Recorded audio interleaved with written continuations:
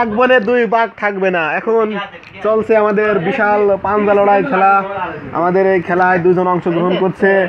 প্রথম ব্যক্তি হচ্ছে আতিকুর রহমান আতিক ভাই দ্বিতীয় ব্যক্তি সালাম ভাই। দেখা যাক কে পারে। চলছে চরম উত্তেজনক খেলা।